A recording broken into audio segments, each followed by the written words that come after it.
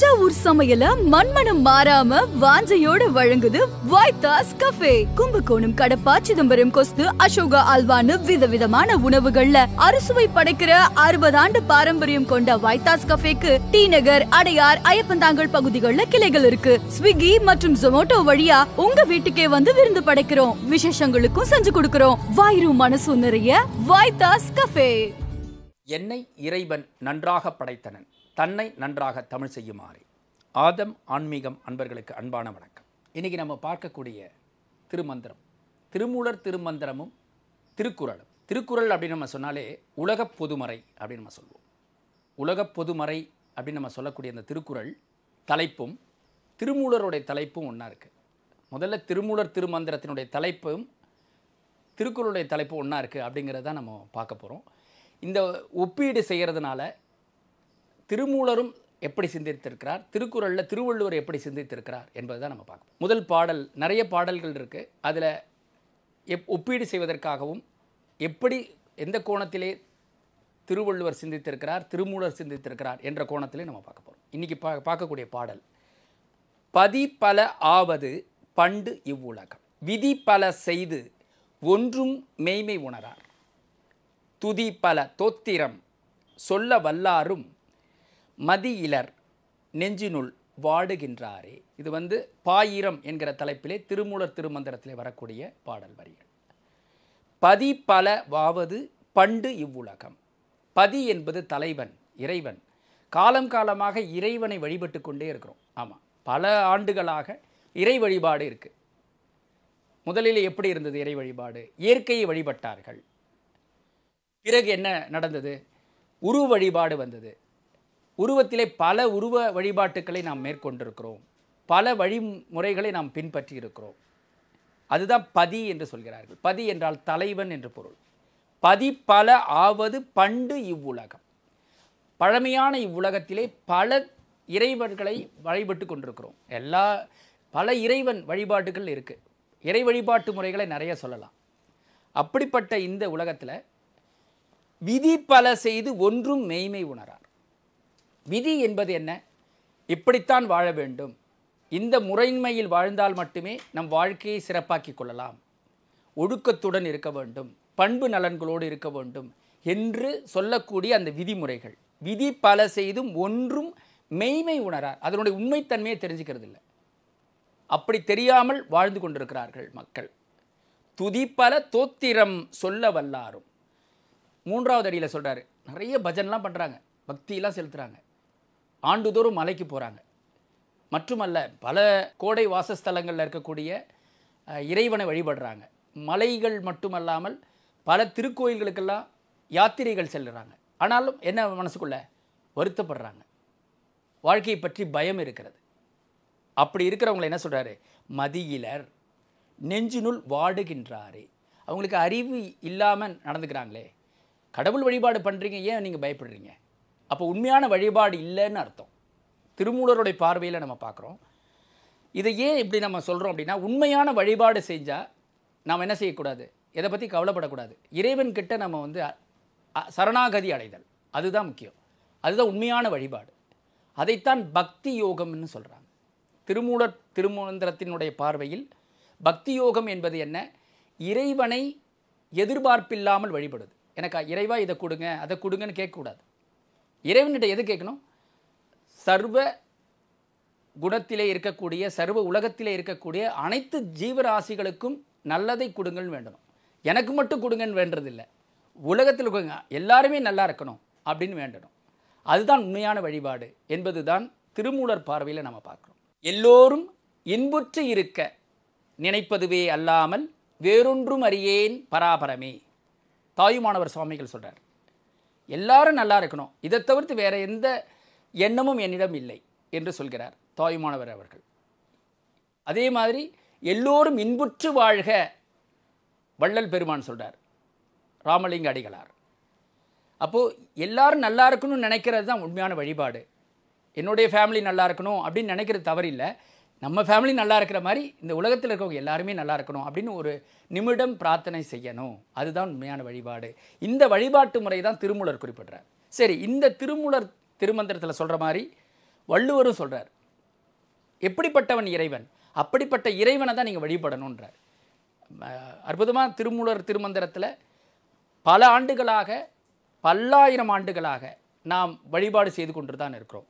பார்க்குறவங்களெல்லாம் இறைவன் நம்ம நினச்சிக்கிட்டு இருக்கோம் அறியாமையில்.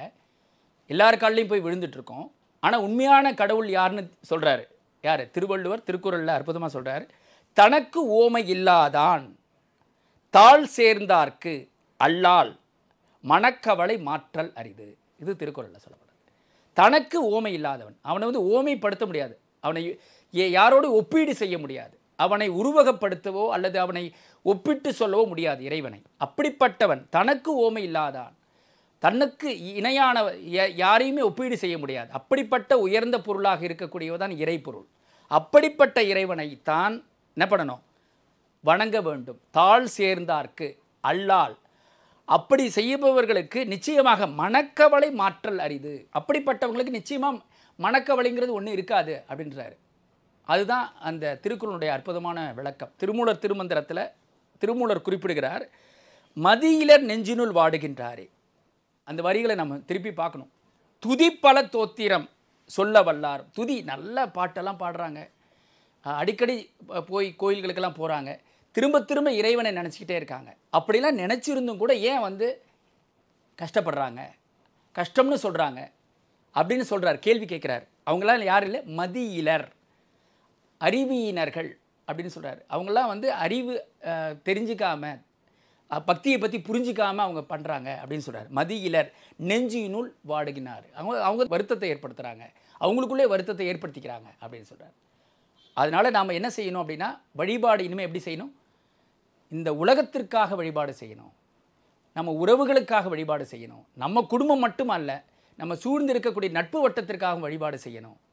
நாம் பார்க்கிற ஒவ்வொருவருக்காக வழிபாடு செய்யணும். வழிபாடுனா என்ன பண்ணணும்? நல்லா இருக்கணும்னு வேண்டினா போதும். அதான் வழிபாடு. வழிபாடுனா பல அலங்கார தோரணைகள்லாம் செய்து வழிபாடுகள்னா பெரிய ஆடம்பரமான விஷயங்கள் செய்து வழிபாடு அல்ல. பூஜையில் இல்லை நிறையா பொருள்லாம் வச்சு வழிபாடு பண்ணுறதில்ல அவர் சொல்கிற வழிபாடு என்ன? எல்லாரும் நல்லா இருக்கணுன்றது தான் வழிபாடு. அதில் இன்னொரு திருமந்திரத்தில் அற்புதமாக சொல்வார். யாவருக்குமாம் இறைவனுக்கு ஒரு பச்சிலை யாவருக்குமாம் பசுவிற்கு ஒரு வாயுரை. யாவர்க்குமாம் உண்ணும்போது ஒரு கைப்பிடி. யாவர்க்குமாம் பிறர்க்கு இன்னுரை தானே இந்த திருமந்திர பாடலும் நாம் சிந்திக்க வைக்கக்கூடியது தான். யாவர்க்குமாம் இறைவனுக்கு ஒரு பச்சிலை. இறைவனுக்கு நாம் செலுத்த வேண்டிய வழிபாட்டு முறைகள்னு சில விதிமுறைகள் இருக்குது இந்த கடவுளுக்கு இந்த பூவில் தான் நம்ம வந்து பூஜை செய்யணும். இந்த கடவுளுக்கு இந்த முறையில் தான் நாம் வழிபாடு செய்ய வேண்டும் என்கிற ஆகம விதிகள்லாம் இருக்கிறது. இருந்தாலும் கூட அது கிடைக்கவில்லை என்பதற்காக வருத்தப்படக்கூடாது. எது கிடைத்திருக்கிறதோ அதை வழிபாட்டு பொருளாக நாம் பயன்படுத்தலாம். யாவருக்குமாம் இறைவனுக்கு ஒரு பச்சிலை வெற்றிலை இருக்கிறது. வெற்றிலை கொடி நம்முடைய வீட்டு வாசலிலே அ- அழங் அலங்கரித்து கொண்டு இருக்கிறது அந்த வெற்றிலையை கொண்டு வந்து கூட நம்ம என்ன பண்ணலாம்? வழிபாட்டு முறையில் வைத்து பூஜை செய்யலாம். அன்னைக்கு பூ வரல. பூ கிடைக்கவில்லை. பூ வாங்கவில்லை. மறந்து விட்டோம். ஆனால் வழிபாடு செய்யணும் அப்படின்னு நினைக்கிறோம். அப்போ வெற்றிலையை கொண்டு வந்து என்ன பண்ணலாம்? வழிபாட்டில் வைத்து பூஜை செய்யலாம். அதுக்கு ஒன்றும் பெரிய செலவு இல்லை வாசலில் கொடியில் இருக்கக்கூடிய வெற்றிலை கொடியை எடுத்து செய்யலாம். அதுதான் வந்து யாவருக்குமாம் இறைவனுக்கு ஒரு பச்சிலை. சரி. யாவருக்குமாம் பசுவிற்கு ஒரு வாயுரை. இரண்டாவது அடியில் சொல்லும்போது யாவருக்குமாம் பசுவிற்கு என்று சொல்கிறார். பசு என்றால் உயிரினங்கள். பசு என்றால் பசுக்கள் அப்படின்ற ஒரு பொருள் இருக்குது அதை தாண்டி யாவர்க்குமாம்னு சொல்லும்போது உயிர்கள் அனைத்துக்கும் என்று பொருள். யாவருக்குமாம் பசுவிற்கு ஒரு வாயுரை வாய் உரை என்று சொல்லும்போது உணவு என்று பொருள். எல்லா ஜீவராசிகளுக்கும் நாம் என்ன செய்யலாம்? வந்துச்சுன்னா அதுக்காக நம்ம செலவு பண்ண முடியுமா? அதுக்கான பொருட்செலவு செய்யணுமான்லாம் அவசியம் இல்லை. ஒரு நாய் இருக்குது தெருநாய்க்கள் நிறைய இருக்கும். சில பேரில் நான் பார்க்குறேன் நான். திருநாய்களுக்கெல்லாம் என்ன பண்ணுவாங்க? ஒரு மதிய வேலையிலையோ அல்லது மாலை வேலையிலையோ உணவு கொண்டு வந்து கொடுப்பாங்க. நான் பார்த்துருக்கேன். அது மாதிரி சில இடங்களில் செய்கிறாங்க நான் பார்த்துருக்கேன். அதனால நாம் வந்து வழியை செய்யணும்னு அவசியம் இல்லை. நம்மளால் முடிஞ்சது நாய்களுக்கு நம்ம வந்து உணவிடுதல் தெருநாய்களுக்கு. அது மாதிரி நம்ம உணவிடும்போது அந்த நாயினுடைய தன்மை. இப்போ பார்த்திங்கன்னா தெருநாய்கள் மட்டுமல்ல பூனை இருக்கலாம். நாம் வளர்க்கக்கூடிய கிளியாக இருக்கலாம். எதுவாக இருந்தாலும் ஜீவராசிகள் அனைத்தையுமே பசுக்கள் தான். அதைத்தான் யாவருக்குமாம் பசுவிற்கு ஒரு வாயுரைன்னு சொல்கிறார் திருமூலர். அப்போது உணவிடுதல் கூட வழிபாடு தான் அது வந்து இறைவனுக்கு செய்யக்கூடிய வழிபாடு. மூன்றாவது அடியில் யாவருக்குமாம் உண்ணும் போது ஒரு கைப்பிடி. என்ன பண்ணுறாங்க நம்ம சாப்பிட வரும்போது நம்ம சாப்பிட்டுட்டு இருக்கிற போதோ அல்லது நாம் சாப்பிடணும்னு ஒரு எண்ணம் வரும்போதோ நம்ம என்ன செய்வோம்? காக்காக்கு வந்து ஒரு ஒரு அளவில் நம்ம வந்து உணவு இடுவோம். அது வழக்கமாக செஞ்சிட்ருக்கோம். ஆனால் குறிப்பிட்ட நாளில் தான் செய்கிறோம் டெய்லி செய்யணும். தினமும் செய்யணும். அந்த ஒரு பழக்கத்தை வழக்கமாக்கி கொள்ள வேண்டும். காக்காக்கு மட்டுமா பண்ணுறோம்? இல்லை. விருந்தாளி வந்துட்டாங்க. திடீர்னு எ- எந்த விதமான முன்னறிவிப்பு இல்லாமல் வீட்டுக்கு வந்துட்டாங்க.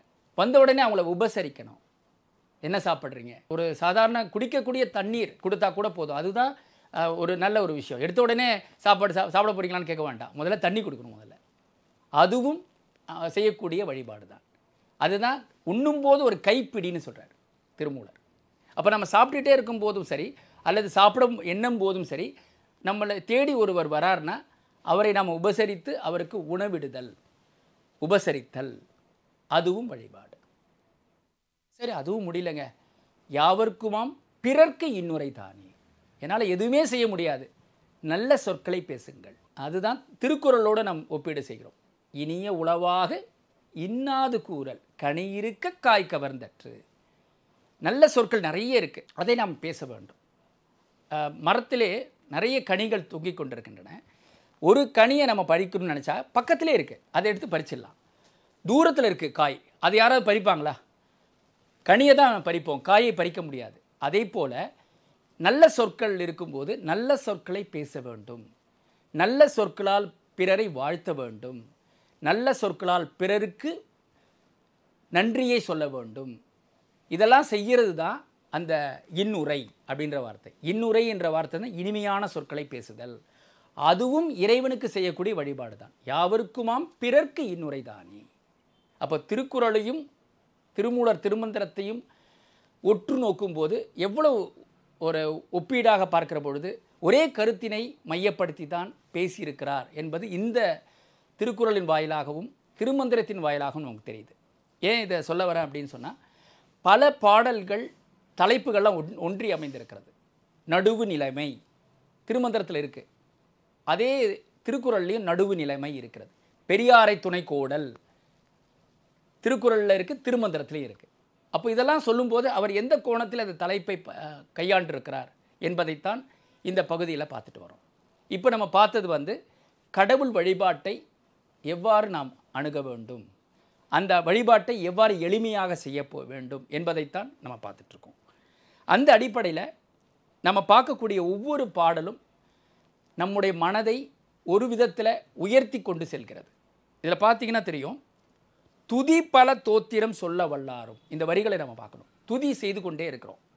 பல முறை துதி செய்கிறோம். அவ்வாறு துதி செய்வதனால் என்ன பயன் அப்படின்னா இறைவனுடைய நாமத்தை திரும்ப திரும்ப சொல்வதன் மூலமாக நமக்கு ஏதாவது ஒரு துன்பம் வருவதாக இருந்தாலும் கூட அந்த துன்பம் எவ என்னவாகும்னா துன்பம் நம்மை எதுவும் செய்யாது. நமக்கு எந்த விதமான இடர்பாடுகளை ஏற்படுத்தாது. நமக்குள்ளே அது ஒரு இதமான ஹீலிங்னு சொல்லுவாங்க ஆங்கிலத்தில். அது போன்ற இதமான நிலையை ஏற்படுத்தி நமக்குள்ளே ஒரு மாற்றத்தை உருவாக்கும். அதை ஏற்றுக்கொள்ளக்கூடிய வல்லமையை உருவாக்கும். அற்புதமாக சொல்லுவார் மகாகவி பாரதியார்.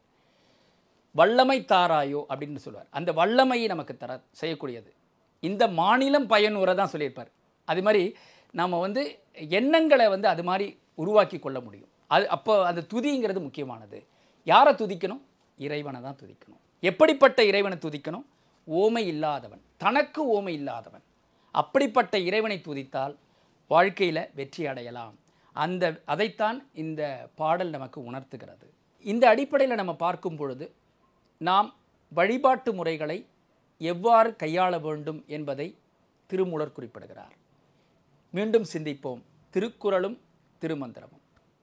வாழ்க வளமுடன் ஆத நண்பர்களுக்கு அன்பான வணக்கம்.